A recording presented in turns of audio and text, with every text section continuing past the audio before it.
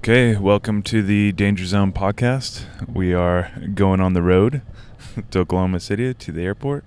I have Martha Tansy with me, and we're going to try and do this interview on the road. This is a Danger Zone podcast first.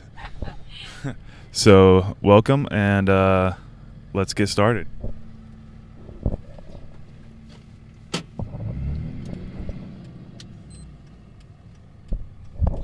And of course, we have traffic uh, as we're getting ready to get on the interstate.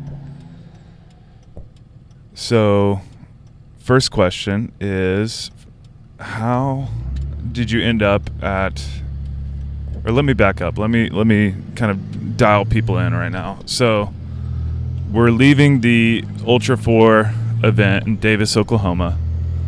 Uh, the Holley EFI Ultra 4 racing at the Cross Bar Ranch. And this is getting interesting already. So, anyways, first question, Martha. How in the hell did you get to the Holley EFI Ultra 4 and what brought you to Davis, Oklahoma? So, I've been on the road for quite a while um, and kind of going races to race, event events, um, doing different things, helping people all over. Um, and I kind of just, you know, people contact me and they have a dream, and so I try to help fulfill that dream. And um, I was in Moab um, kind of unexpectedly, um, out practicing um, rock crawling, and um, there was a rally on the rocks going on, which is like a UTV event, kind of like a UTV event for equivalent would be like a Easter Jeep Safari for Jeeps. So a great big rally. So I was having fun there, practicing in a um, Jeep that I'll be competing in again. Uh, let's see, I'll compete next weekend at the Old School Rock Crawling. Um, owner of the car is Clay Egan, and uh, awesome guy. And so I want to um, practice it in his vehicle before I go out and compete and um, kind of get familiar with it. So that's what I was in the middle of. And then I end up meeting this uh, gentleman um, named Dave Upton, and um, he sponsors an Ultra 4 car. And so we get to talking, and um, he was saying that the gentleman he sponsors didn't have a co driver.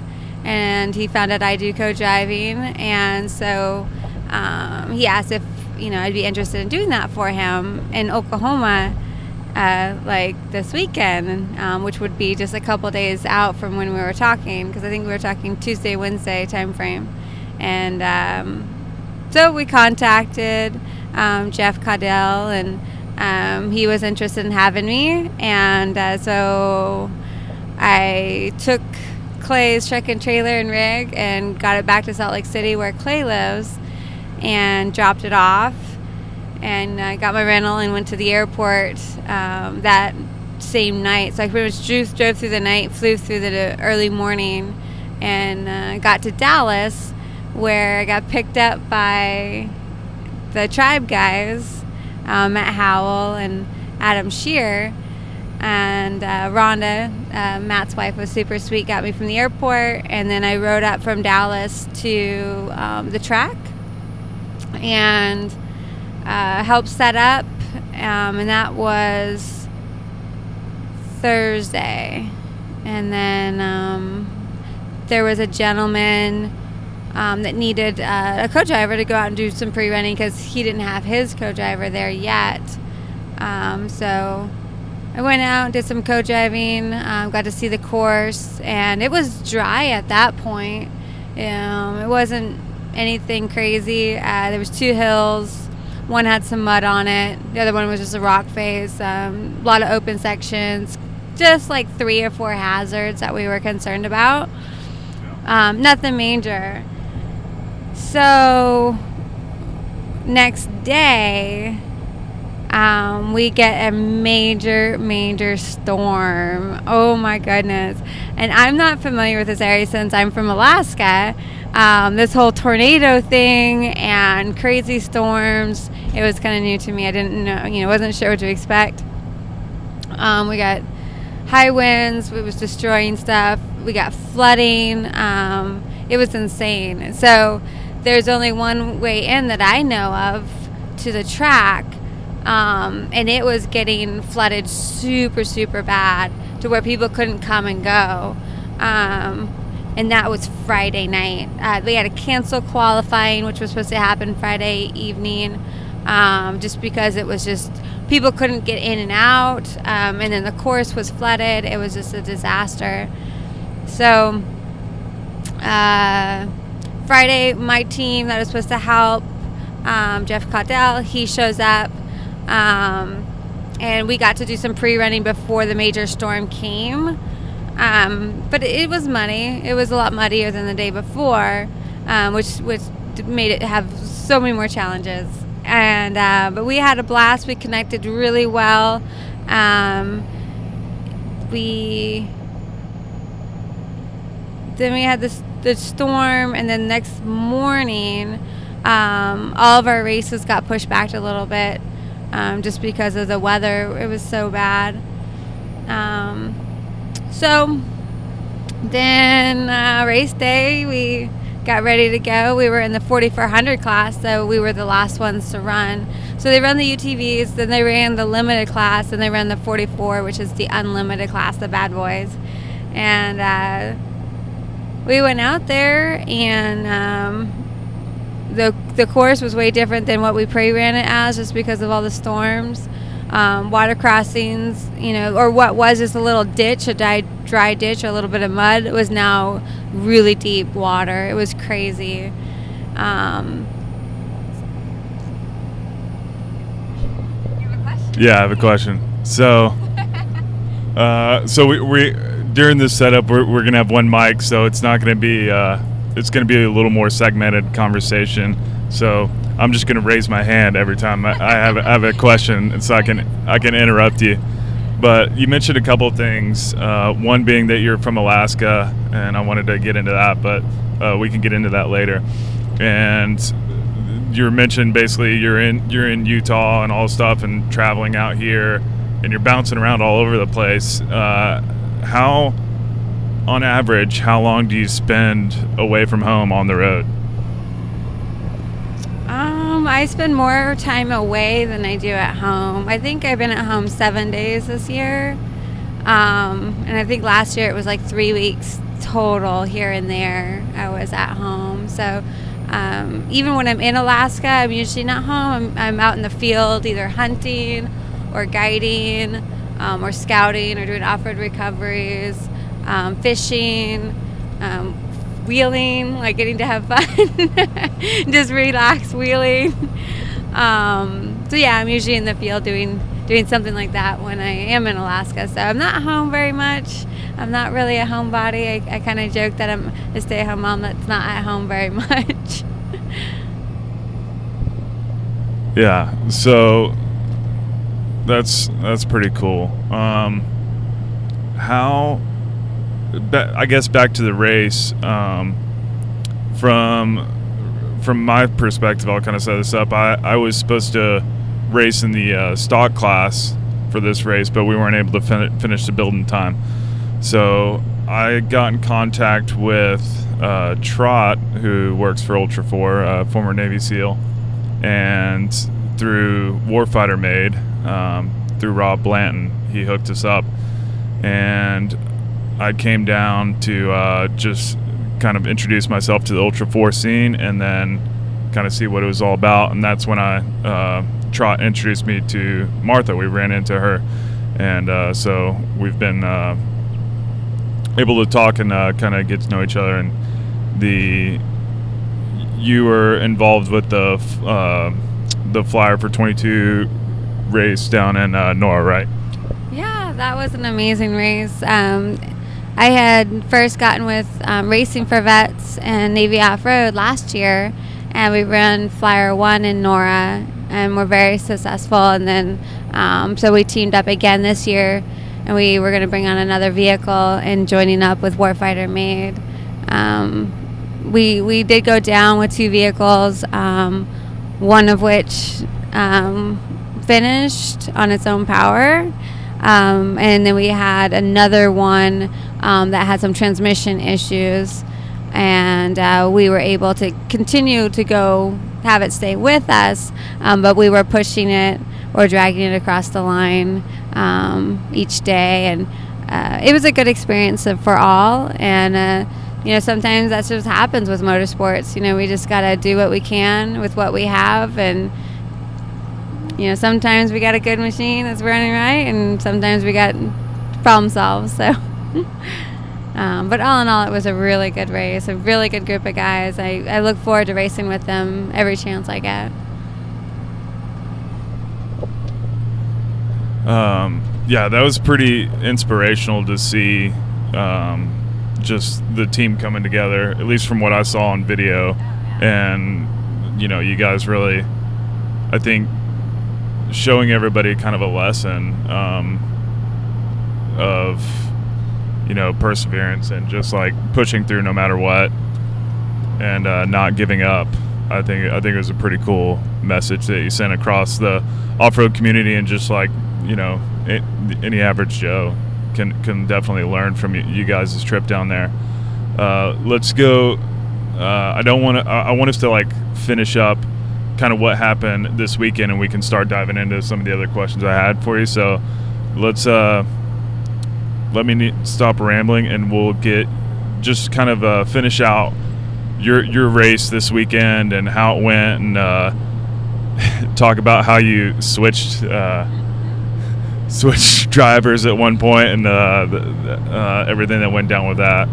So uh, it's pretty cool. Myself, I was um, down at Dead Man Slide initially, and then we started getting a lot of uh, race cars stuck down in uh, Troutline, and so we had to go down there and redirect a lot of people to uh, keep the race going. Um, so it got a little hectic, but I saw you out there on the course. So let's hear it from uh, the co- co-driver perspective.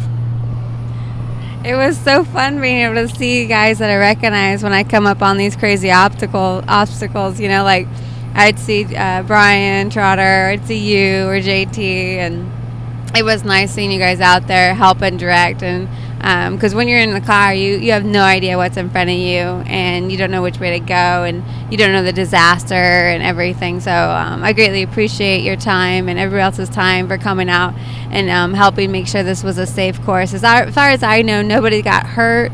Um, we had some potentials obviously with motorsports there's potentials to get hurt.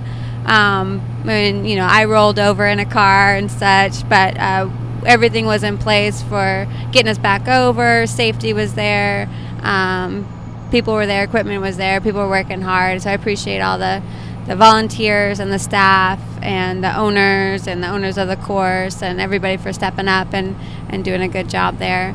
Um, so yeah, like I was saying, I was starting out with um, a team from Indiana, uh, car 513. Um, we went out and we did pre- pretty good on first uh, first lap. First lap has two loops, so every lap has two loops. You have a loop A and a loop B.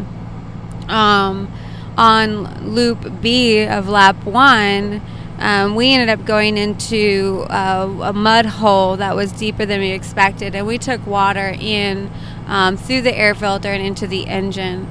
Um, we got it to start running again because uh, it died on us. Um, got it to start running again, but it wasn't quite right. Oil pressure is down to seven. Um, it wasn't looking good, uh, but we were able to. Motor was running. We kept going. Um, got back, you know, into pits. Checked everything out. Um, the owner and driver made it the call to keep going, and uh, so we did. And so on lap two, um, loop A, um, we were driving along, and all of a sudden, uh, motor locked up and uh, we there was no more there's no more going, no more forward momentum. Um, so we, we coasted off to the side. Um, there was another vehicle that uh, had been swamped out in the mud, and so we went and helped that vehicle um, get themselves taken care of, fixed up, get them back in the car, and, and get them on their way. Um, it takes a lot of time just to get yourself resituated, all your tools back away and into the car. And so um, we were able to help get them buckled back in, get them safe. Um, And then uh, shortly after that, a vehicle pulls up, pulls over the side, and we, you know, he was hurting. He had uh, mud completely caked over his face. I mean, everything inside the cab was just a disaster with mud. Um, he's got two holes where your feet go. There's nothing, there's no uh, separator between your body and the outside world. It's just all open. So any mud or anything, um, water, whatever he went through, the tires just kind of shoveled it right into the cab. so he was he was destroyed. Um, but he didn't have a co-driver, and so uh, me and uh, our driver, you know, the driver went over. Uh, me and Jeff did and said, "Hey, are you doing okay? Do you need anything? Um, do you need a co-driver?" And he said he needs rags and a co-driver. So um, I hopped in with him. I honestly didn't even know his name, um, and uh, but you know, I was sitting there and we weren't able to, to do anything in our end. Um, so at least I could go help out. With a uh, race like this, you have to be a banded driver or co-driver in order to be in a vehicle and help. Um, even wrenching on the vehicle, um, any outside assistance, if you're not a banded driver or co-driver, you get disqualified. Um, so he couldn't like go into his pits and just and grab somebody else. Um, he had to have somebody who was already abandoned for the race. So I guess he originally, later on, I find out, um, he originally had a co-driver, but after the first lap, um, experienced how brutal of a race it was with so much mud coming in on you, um, and the challenges of being able to see, challenge of navigating. Just it was a very very challenging race because of all the mud and all the water. His first co-driver gave up after the first lap. Um, and so he was at, without a co-driver. So that's how he ended up in that situation.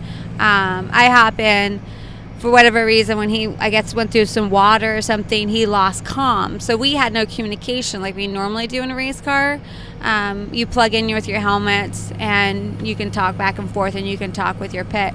Um, with his system being down, it was all hand signals. So um, his GPS was working for the most part. There was some in and out issues. I think there was mud on like the system, so it wasn't able to get satellite properly. Is my guess. We were having some issues with that um, in the first car. Um, so I did the best I could. Um, hand signals, yelling, um, and uh, and then my other function was um, like I was telling you, the floor was completely open to the outside. So I kind of was blocking water and mud with my feet, and the air filter was like under my knees. So I was kind of using my body to shield the air filter from getting water and mud on it. Um, and then my feet to try to keep, you know, less mud and water getting inside. And so um, did that. We had a little bit of overheating issues. Obviously, we had mud all over the radiators. Um, electric fans don't like having mud in them. uh, so we had some issues there. And then uh, the belt um, had mud and water on it. And so it wasn't working efficiently. Um, it was slipping on the water pump, it was slipping on the alternator. So we kept having intermittent issues there. Um, but uh, we were hard charging. We kept going. Um, we came to a, a mud hole. Uh, it was really, really, really rutted out.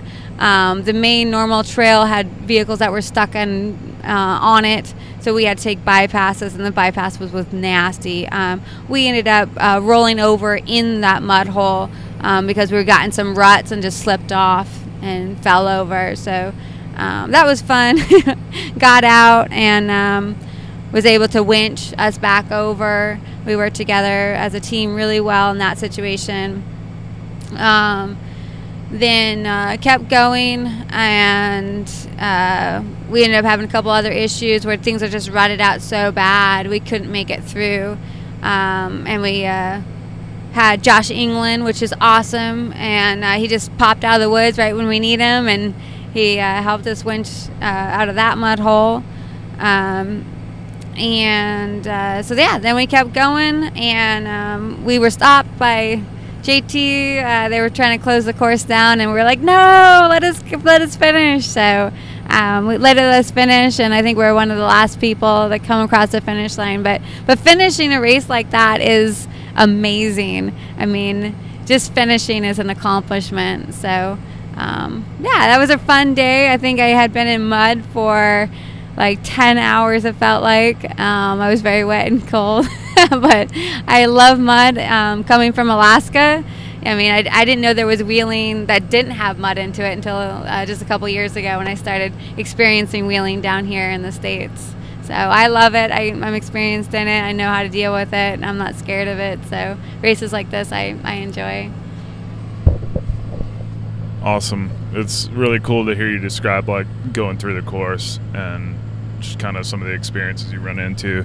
One question I had for you, real quick, is uh, just that popped in my head is: Do you, in mud and water situations, would there be ever be a time that you turn off the electric fans to like keep them from, uh, like I guess when you know stuff is getting flung in there to keep them from flinging uh, mud and water everywhere in the engine compartment? Um, so wheeling is different than racing in that aspect, um, in my opinion. So like wheeling, um, yeah, you'd want to, you know, nice and slow and steady. You get to like a river crossing um, or you know mud, deep deep mud. Yeah, you'd want to turn them off, go through it and turn them back on. Um, and you'd pull over if it's mud, rinse it out really good because you don't want a bunch of mud in there with those little plastic fans um, because you got all that resistance you know, you want to clean that, make sure it's nice and clean. You're not trying to fight anything. Um, with racing, you don't really have that luxury. Like I was saying, it takes a lot of time to get in and out, and you're so muddy that like once you get in there and you're set, you don't want to get back out if you don't have to. Um, so some guys have their fans on switches and can. Um, some guys are running it to be electronically controlled to come on and off when they need to. Um, I think location is really important and being able to have it in a place where it's not getting a bunch of mud packed on it. Um, but yeah, if you have a great big clump of mud that comes down and it's that really thick, thick, thick, like hard stuff, you know, it's gonna mess with your fan. Um, we ended up putting a screen on a pre-runner that we ran at NorCal last weekend, um, just to kind of collect all that mud before it gets to the radiator. Um, some guys will run if they're having a, an engine driven fan.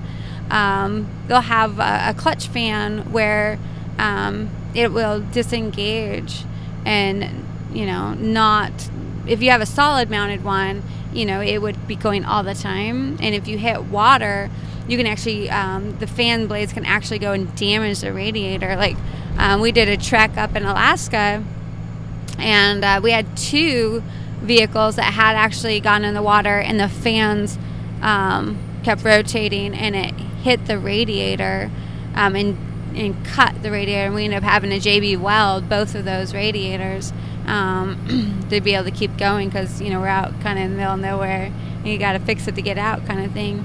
Um, so, yeah, being able to turn them off is nice. The other thing is it sprays water. Like if you have a, a engine driven um, style fan or electric fan, they're just going to spray water all under your hood. So, excuse me, being able to be able to turn that off is nice. Uh, thanks for answering that. Uh, I'm totally getting some uh, free tips right now. Uh, one of the uh, that leads me into one of the questions that I was going to ask you is uh, can you describe the feelings you have when you're behind the wheel uh, during a race, like, or um, or just some of the other things you're involved in, like what it feels like for hunting, or you know what's going through your mind when you're doing those things, and uh, yeah. So if you want to dive into that. All right. We'll make sure we're on make sure we're on course still.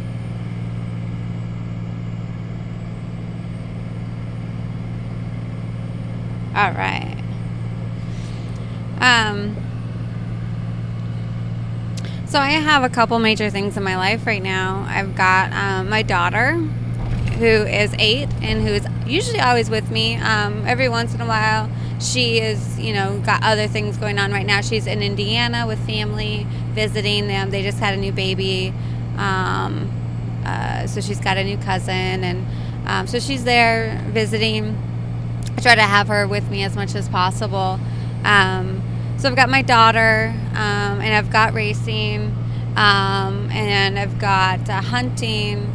Um, so those are like the main things going on in my life, and um, and I've got uh, traveling all the time. So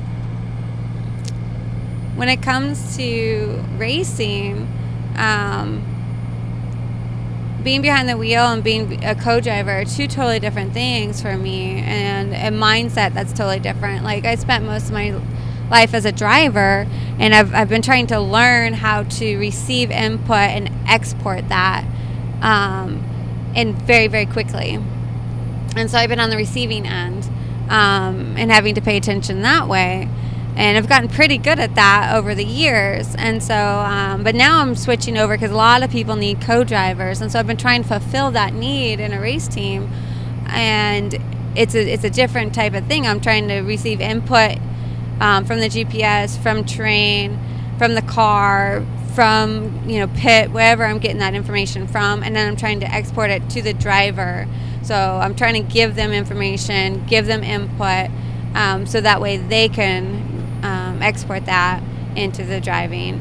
Um, so it's been fun switching and doing that. Um, and, and getting to see that side of it. So I want I like trying every single position of something that I'm trying to do. Um, so that way I can kind of see, and I think I feel like I, I'm more well rounded and I'm able to do a better job. So when it um, comes to driving, I love driving so much. Um, but I wanted to see what it felt like to be crew. I wanted to see what it felt like to be a co-driver.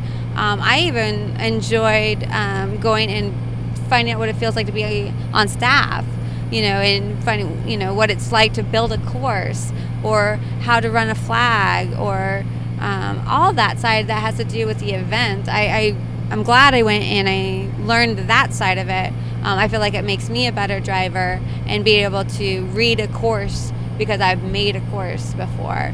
So um, yeah, just well-roundedness. Um, I'm glad I have the experience to do all that. Um, so for driving, um, since I've been doing it since I've been about over 20 years, I've been driving in motorsports. Whether you know, I started dirt bikes and four wheelers, snow machines. Um, then you know, I've done circle track asphalt and circle track dirt and ice racing and um, I even went and did go karts recently. and that was fun. Um, so, you know, arena trucks and um, big moose buggy off road stuff in Alaska. Um, then all the crazy stuff I've been doing down here in the States uh, with all the different series. Uh, you know, Alja 4 and Score and Nor and um, Dirt Riot and stuff I did, you know, with Ultra 4 and Europe and so getting this wide variety is really fun too. Um, I think it helps being able to to bounce around when I have a good skill set from that's really wide and varied. Um, yeah, for me, you know, getting to drive is something that's uh, real natural for me. Um, I have nothing to prove. I just go out and have a good time and try to stay focused and be safe. That's the biggest thing for me now that I'm a little bit older is uh, being safe is very, very, very important. I want to make sure that I'm coming home. Um, and, uh, you know, we get in situations where we have to make a call as a team.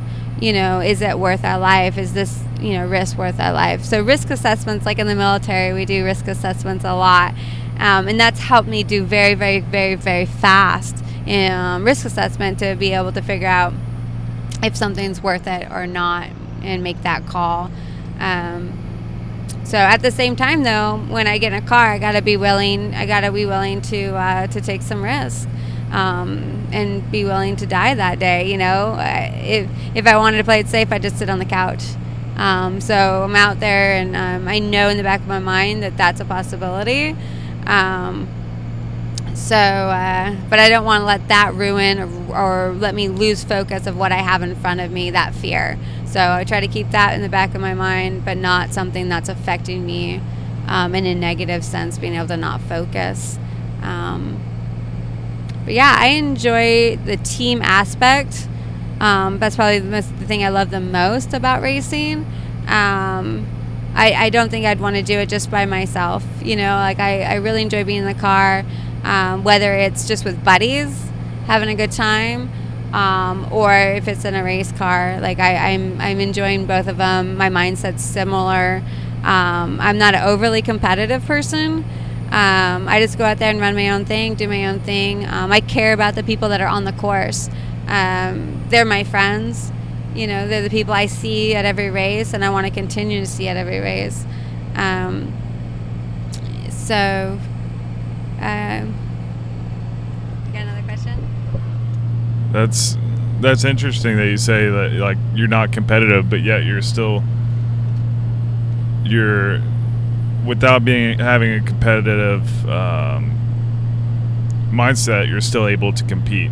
Like that's that's a pretty cool um, thing because I'm super competitive. It's like it's in my nature to be very like I want to win, but I also do feel relaxed about it and. Um,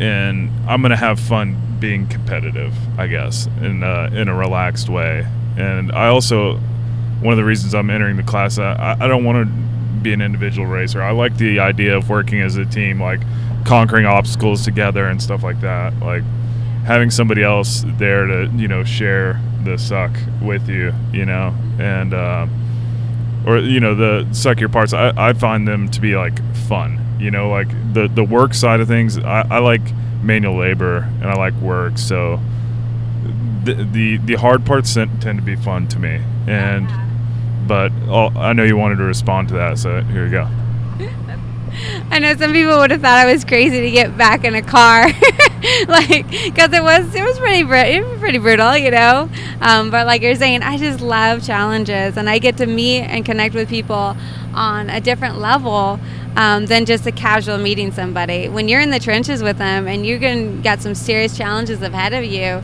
and you have to work together, um, you really get to know somebody.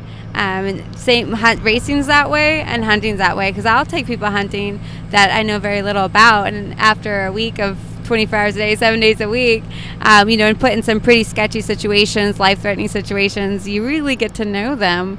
Um, same with the military. Um, you you know you get thrown together with people you don't know, different backgrounds, and you just got to make things happen. Um, yeah, I really enjoy that part of it too. Why don't you talk about uh, your military, like being a mechanic and stuff? Okay. Um, okay. So to answer your other question um, about the competitiveness, um, when I do do well at something, it's just because I put my heart into it and I did really, I did well. I just happen to be better than the next guy, but I have no, I have no focus on anybody else other than what I'm trying to accomplish, um, and I just do my job and I try to do my best and I try to care about the people around me, and I, I, I do. I legitimately care about people. Um, so that's what I focus on. I try to honor God in everything that I do um, and have that as my big picture. Um, and loving people is, is kind of the base of what I'm trying to do. Um, with everything, I'm, I'm anywhere I go. So that's where I get with the non-competitiveness, or, or I say I'm not overly competitive to the point where I'm wanting um, to be better than somebody else. I don't have that in me. I just have go out, do my best, and try to help make dreams come true um, with whatever the team's dream is. Um, I try to figure what it is and help them accomplish that. Um, and uh, whether it's you know wanting to go and, and get uh, a moose or learn how to hunt or learn how to race in Mes- Mexico or you know I want to win King of the Hammers whatever the, the dream is uh, then I, I, try to help accomplish that um, with them. Um, so you had asked me also um, about military and um, so I joined the military and I was a mechanic um, and then I became um, NCO, and I was leader of a um, recovery section. And it was like the best job ever because I, I got to go wheeling, and I got to go work on trucks. Um, and I, I enjoyed it a lot. I, I enjoy the military aspect. Um, I love the toughness and I love the people and the structure. I, I really, really loved it a lot. Um, I ended up getting pregnant and kind of switched gears. Um, and uh, so I'm not in anymore. Um, but uh, yeah, I enjoyed my time, and uh, that's one of the things I love about um, racing um, with Warfighter Made and racing for vets is because um, we're coming all from similar backgrounds, even though we didn't know each other. We come from similar backgrounds. We can be thrown in together, and we already have the same structure. So, um, you know, being able to, to accomplish crazy missions um, is easier when you all are playing on, you know, from the same rule book in a sense. So. Yeah, I totally agree. That's, um, I'm so fortunate to be, um, to have met Rob and get connected with Warfighter Made and like the people that surround it, like yourself, and now you know. So now I know you and um, and Trotter and all all these other people that I've met because I went to like Camp RZR out in Glamis, and it's it is really cool to see that uh, how we come together and how we interact as, as opposed to like other teams you see in the other you know in the off-road community and but there's also a lot of um, even veterans that are in the off-road community that aren't connected to warfighter made you know and stuff and so there's always those connections that are very easy to make. And then there's a lot of uh, just patriotic people within the off-road community. So uh, i i think it's when you're and they come from like disciplined kind of hardworking families a lot of times where that's instilled in them so they kind of have that similar wavelength. It's not like exactly the same.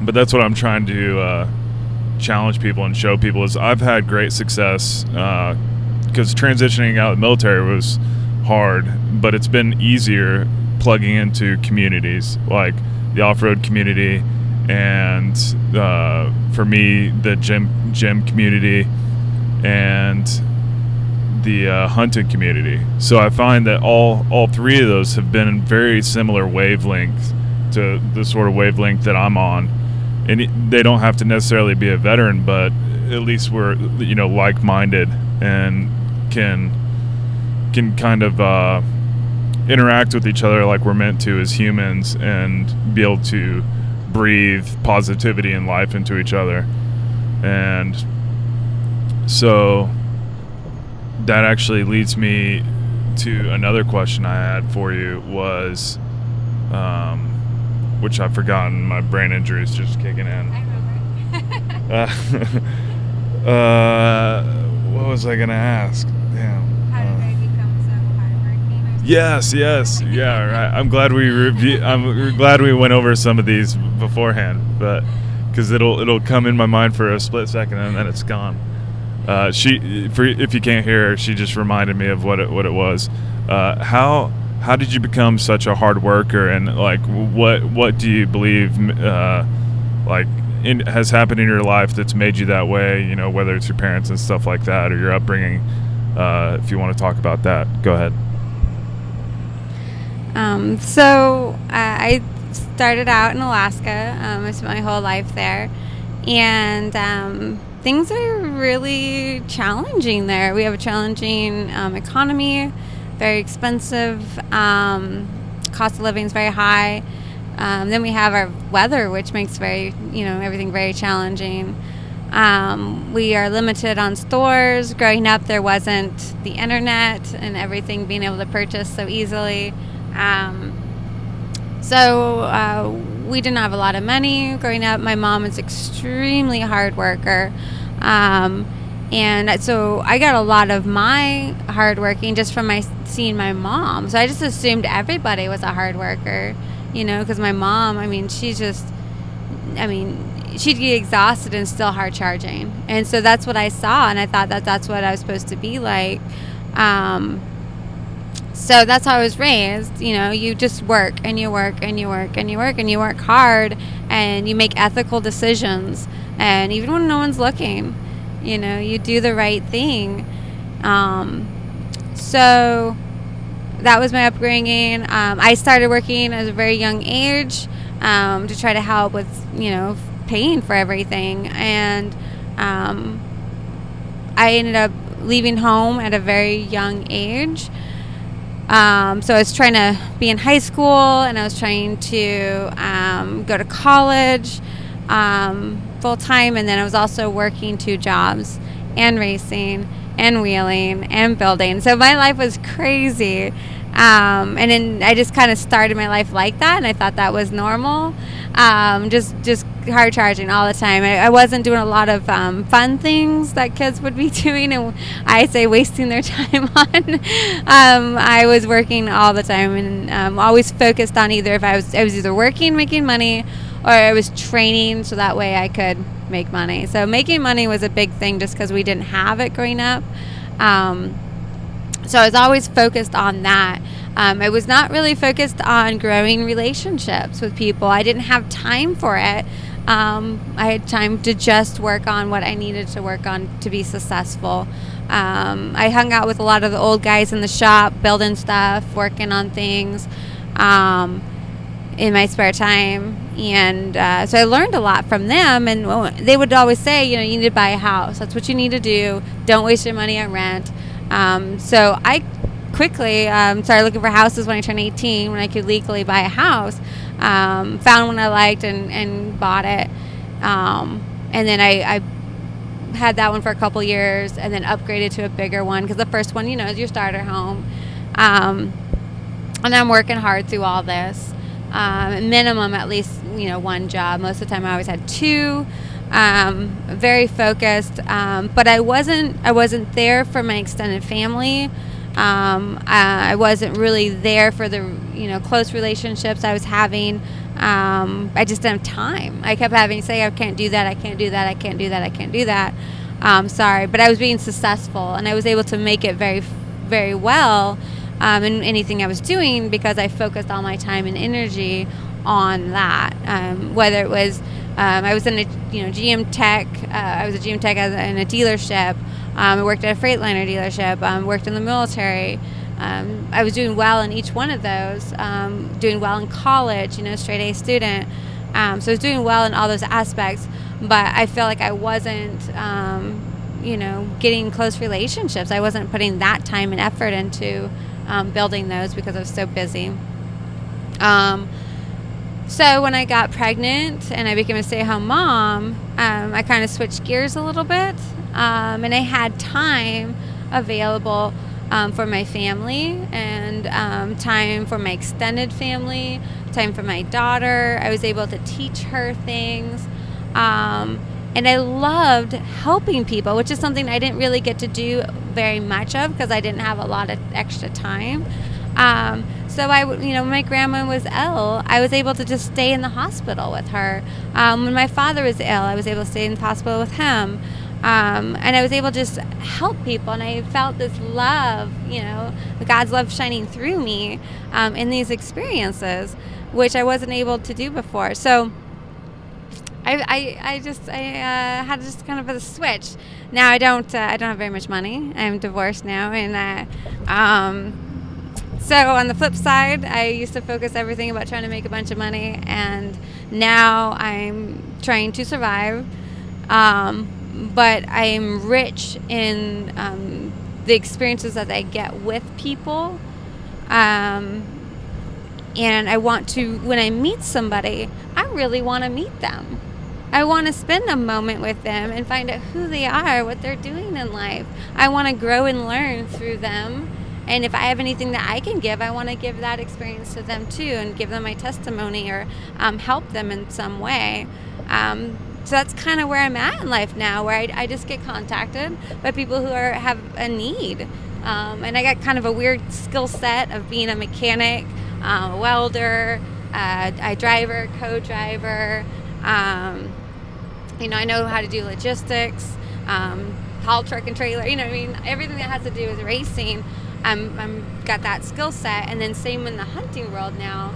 Um, I've got a pretty good skill set that works well there with you know, navigating and um, survival skills and um, you know being able to stock and process you know field dress um, figure out what to do when you break down navigate river crossings and um, everything that comes along with um, hunting i'm pretty well rounded with those two you know things that are in my life I, I have a skill set that works well for both of those so um, instead of just keeping that within me and making myself successful, I would love sharing it with people and I love helping people. Um, so I'm feeling very rich in that sense. Um, and I get to work hard. I'm still working hard. I've been working hard my entire life. Um, I'm just not working hard to make myself a lot of money or make myself, um, you know, grow and benefit in a career necessarily. I want to help other people fulfill their dreams with my skill set. Um, if that makes sense. But uh, yeah, I love, I love working hard. I'm that person that wants to, you know, well, let's just get this knocked out and let's just, you know, work on this tonight and, you know, and we can get this done and, um, you know, let's just keep going. Or when things are gloom and doom and everyone's, you know, thinking that it's going to be too rough or too hard or whatever, I try to be positive and, and keep charging hard and one foot front and the other. You know, sometimes I really don't know how things are going to work out, um, but I just keep putting one foot in front of the other and keep trying and keep working and keep my mind open to strategies and troubleshooting. And are you ready for your next question? Yeah. Um, I, always always appreciate uh, hard workers because um, because I, I feel that I am one but and it it came from my father. It was his his saying is quote unquote uh, work work work. That's what I always say. Like that's and that's just it. it. Is just keep working, you know. And I was um, my brother, who was an officer in the military. I was enlisted.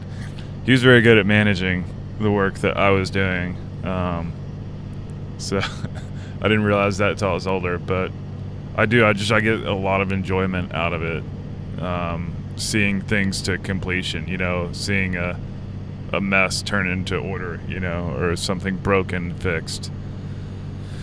And, but uh, enough of me about me. I know we have a limited time. I want to ask you about your travels as far as off-roading. We know you travel all over the place, and I'm going to include a, a, link to that article that was written on you in, in the uh, description of this podcast. And so people will be able to go and see your extensive bio because it's too hard for me to, and we might be the rest of the trip if you're to list off everything. Um, but it, it, it is it is pretty impressive to see um, everything that you've done, and I encourage people to check that out. But uh, in this article, they mentioned that you had gone over to France for an Ultra 4 event over there. So I wanted to know. Um, you said that your hunting has been pretty much restricted to Alaska, so you can touch on that afterwards. But I would like to know where where all has uh, off roading taken you around the world.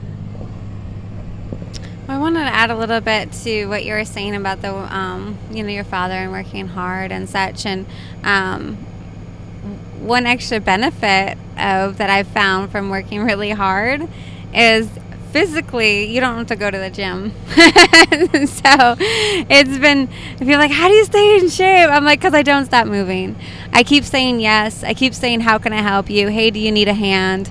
Um, and i just keep working hard and working hard. And so i physically don't have to worry about going to the gym. Um, and also you're you know, when you keep working hard, you're learning. When you keep facing challenges instead of turning away from them, you learn. Every challenge that I've had, um, I get smarter and smarter and smarter and smarter. So when I have challenges in the future, I already have a tool set of experiences that I can pick from and help me on my next challenge. And um, so I love it. I love being able to just, you know, keep working hard, like you're saying, um, and always face a challenge. I don't think I've ever turned away from a challenge, you know. So, uh, and I sleep good at night usually because you're exhausted. um, I always tell people, I can't sleep very well. I was like, oh, well, go try doing something physical or, you know, challenge yourself or something and um, get all your energy out before you try to go to sleep. But, uh, um, so uh, there's that. And then uh, you were asking me about France. Um, so I was helping at King of the Hammers um, a few years ago, and um, I was working for Dave Cole, and he um, asked me to chief for his son, Bailey Cole. And so uh, he had two vehicles he was running in the the Hammers race. Um, and those of you that don't know, the Hammers is a very brutal race. It's, uh, I think, the toughest off road in the U.S. I mean, it's um, a combination of rock crawling, very, very fast rock crawling, and uh, desert racing. So you're going fast, and you're going fast over rocks. It's insane. Um, if you don't know what it is, look it up and check it out. It's uh, it's probably one of my favorite races ever. So I was helping him um, and his son Bailey Cole and their race team. Um, Bailey had a co-driver that came over from Belgium. Um, his name was Sten. Um, Walter is Sten's brother, who also came with him, and they were very, very, very helpful um, helping get the car prepped and we had a lot of issues with transmission and they were very helpful every step of the way um, also extremely hardworking um, right there with me because I'd work, work, work all day, all night, and very few people actually stayed with me the entire time working. Um, but Sten and Walter were right there. They were super awesome. Um, so when it came time for them to race in Europe, I told them, hey, you came over and you were awesome and helpful to me. I want to return the favor. I would love to come over and help you race your race because um, Ultra 4 has a, a, Ultra 4 Europe series um, that they race there. So um, I went over and they said, come on over early because we need to do some stuff on the car. I came over early and we did a lot of stuff on the car. Um, I was able to step up my fabrication skills quite a bit, and that was fun. Um, got to learn how to TIG weld aluminum because we had to put a whole new floor in, a whole new dash, um, electrical, engine management. Um, skid plate. I mean, we did some major, major, major work to this vehicle. Um, came down to we needed um, some parts and we were not able to get those parts in time for the race. Um, so that particular vehicle that we had worked so hard on night and day, every single day, um, did not make it to the to the track. We still went um, to provide support for a lot of the teams that were um, racing at the King of France race. Um, I think that race is probably one of my most favorite Ultra 4 races ever um, being able to have such a wide diversity. I mean, there was four or five different languages being talked. Um, so it was confusing. I only know English, so that was it was it was a challenge. Um, I came back from that race over here and only having to deal with just English. I'm like, oh man, it's so much easier. um, so I came, I had much more appreciation for uh, the races here in the U.S.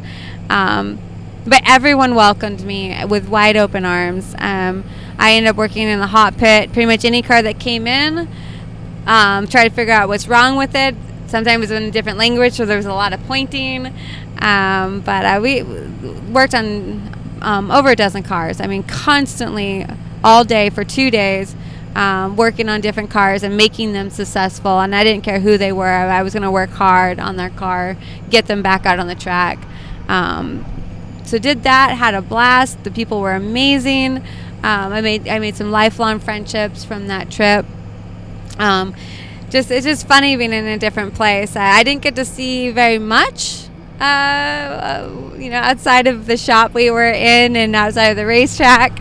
Um, but uh, but I got to see and, and experience something that um, I hope I get to do again. It was amazing. I, I, try to tell everybody if they get the chance to go race Ultra 4 over in Europe, they, they should do that.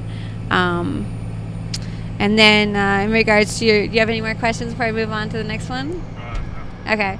Um, so in regards to hunting, um, I um, I like to do some pretty extreme stuff. Um, my daughter is always with me for the most part, um, and she is eight now. Um, so she's been her whole life has been hunting. Uh, she this last year um, got her first caribou. Uh, it was an amazing experience, and uh, it was. It, I couldn't speak. I mean, I was truly speechless after um, seeing her take her first big game. Uh, she had gotten some other um, animals. She had been hunting for a few years, but um, this last year, getting caribou was our first big game. Um, there was a gentleman um, who's older, um, who's got cancer, and I usually get a caribou for every year. Um, and he wanted to have my daughter get her get him a caribou. So there was a handed down gun, um, a 243, just single shot break action. Um, kind of a challenging gun to for a uh, seven year old, but um, he wanted her to get a caribou for him with that gun, and so she trained on it um, for a year. Um, ran out and uh, we I expected her to, to shoot within 100 yards.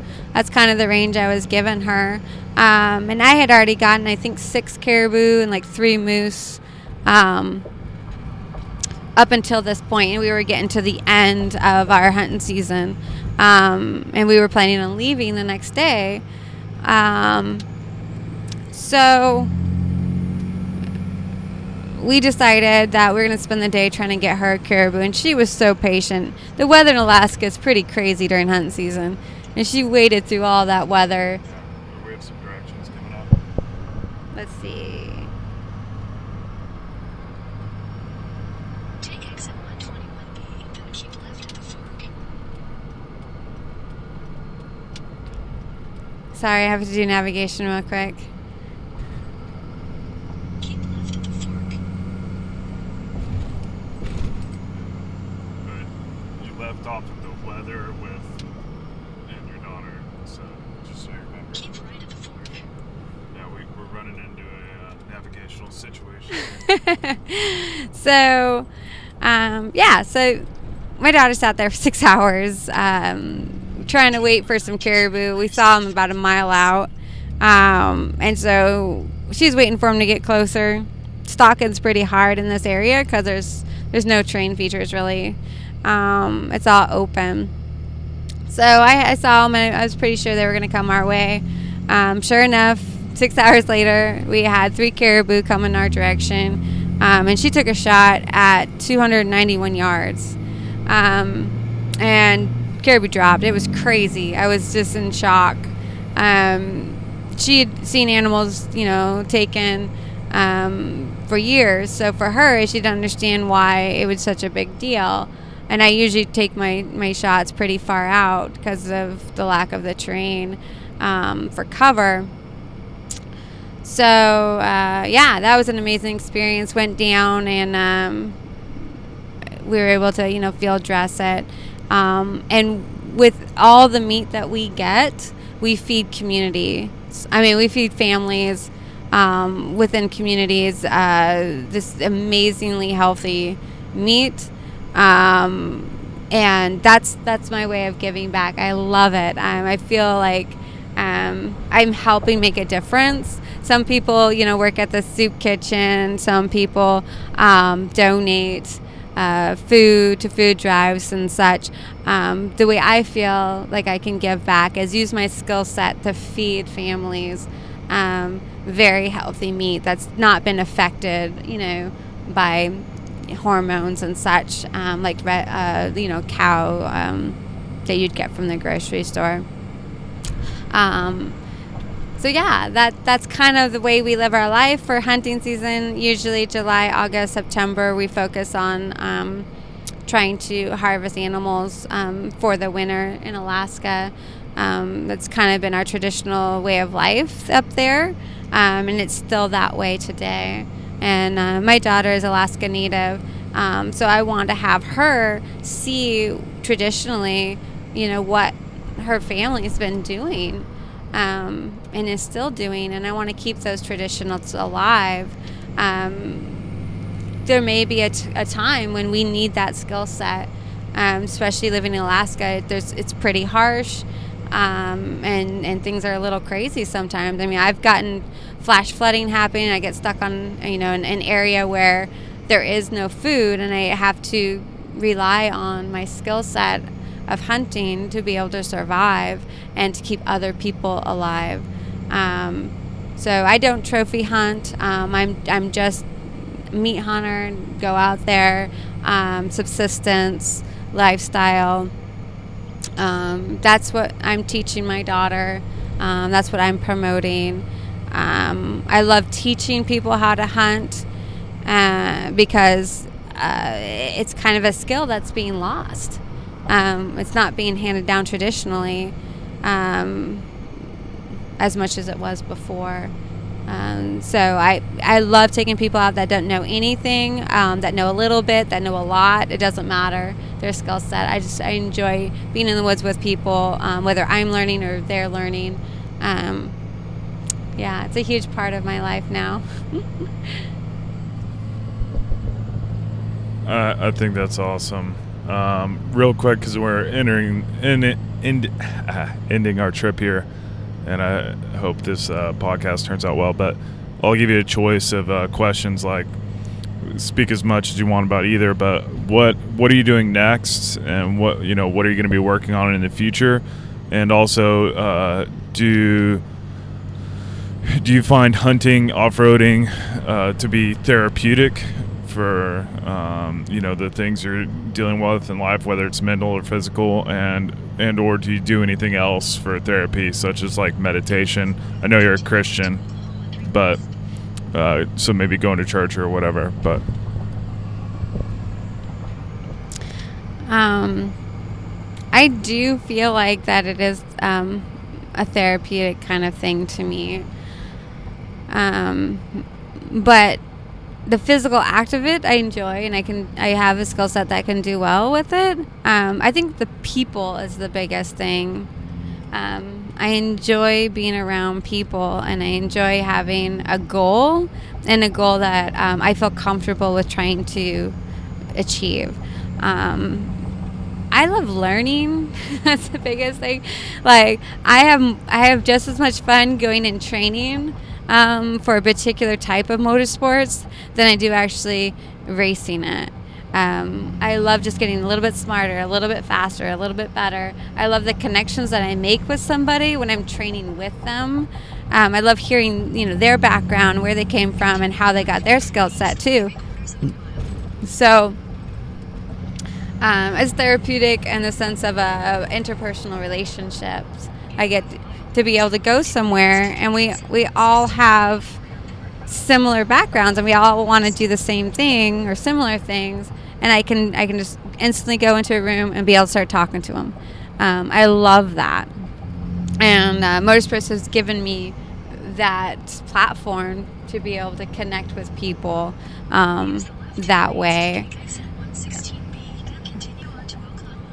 So there's some race teams that I've um, raced with that do have God a part of what they're doing um, and how they run their race team. And I've found that is just amazing on a spiritual level um, to be able to have God a part of you know what you're trying to accomplish. Because we're trying to accomplish some pretty crazy things especially you know the longer races um, races in mexico. There's a potential um, for disaster. There's a potential for people to get hurt um, stress is really high um, so being able to grow in my faith um, with these teams has been an awesome side effect of this too and to be able to just show people my uh, my life and my testimony my daughter loves talking to people everywhere we go about God.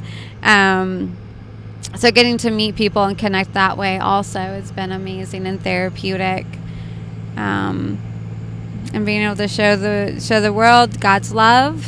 Um, what better way than on a mass scale? Because I, I will meet 60 to 100 people on average a week. I meet people constantly. Um, and the more people we can meet, the more people we can show God's love to. So. what about what what you have coming up next? Um, so off the top of my head, what I can remember, I got a lot of things going on. Um, but I'm gonna leave um, Oklahoma City. I'm gonna head over to South Carolina and do some um, wheeling and training in that area. Um, it's a little bit different. Everywhere I go, the train's different. I love it. I just want to keep learning all the different trains of the world. Um, every rock is, you know, every place got different rocks and they got different kinds of mud. So I want to go over there, experience South Carolina area um, with uh, Fred Perry and Chris Durham. Go there, do that, have some fun um, for three days, and then go back to Salt Lake City. Um, I'm gonna meet up with Clay Egan um, and compete in his rock buggy um, at the old school competition in Delta, Utah. Um, from there, um, I'll go down San Diego and meet up with Chris Barnett. And we're going to go down and race a UTV in the Baja 500. Um, from there, I'm going to go over to Texas for the Dirt Riot race. Um, after that, I'm probably going to go home, I'm hoping. I haven't been home in many months. Um, and uh, I, I need to get my vehicle ready, my off road rig ready for hunting season. Um, then I'll be back down, and we've got the ladies' um, fab school. We've got Ladies Off Road Conference, Jeepers Jamboree, all for fun in Colorado. Um, I have uh, to go to uh, Cascadero, um, where Courtney and I um, are going to be building a 69 Wagoneer to compete in the Rebel Rally. We need to do that build. Um. I have uh, a couple more races coming up. We got Ultra 4. I want to do more Dirt Riot. Um, yeah, so my life is going to be uh, pretty much racing um, up until um, August, early August. I think August 3rd um, is when I'll head back to Alaska, and hunting season will be all of August and September. Um, then I'll come back down, do some more racing probably, do that Rebel Rally, which is in October. Um, and that, that is an amazing race. If you're not sure what it is, check it out. It's a all women's race, 1,200 miles, no electronics, so it's map and compass. Um, it's going to be amazing. A full week of racing. Emily Miller puts it on. Um, she does such a great job. Um, I'm, I'm really excited. I look forward to that. Um, the team we are is Team Trail Tested. Um, Courtney and I, that's our team. And um, she owns with her boyfriend a, manufacturing company called Trail Tested, and we get to use their shop. It's amazing. Um, so yeah, there's kind of some stuff coming up. Um, got the Baja Thousand, of course, is uh, 50th anniversary. Everybody's excited about that, so I'll be down there doing um, that and. Uh, yeah, anything else that comes my way. Sometimes things uh, I know ahead of time, and a lot of times I have no idea I'm about to get into something until it starts happening. Where can people find you? Where can people find you online?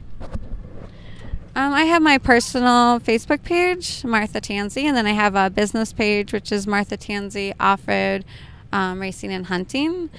Um, I've been kind of keeping those both updated about the same. Um, and then Instagram has been really good too. Um, just Martha Tansy on Instagram. Awesome. Well, we're here at the airport, so we'll uh, finish up this podcast. But it was a pleasure meeting you, and I'm so glad we got to spend some time together and uh, get to know you a little more. Uh, so, hope to see you in the off road racing scene in the future and maybe get up to Alaska and do some hunting together. All right. Yeah, it was great meeting you. And thank you so much for taking me to the airport and doing this podcast. That's amazing.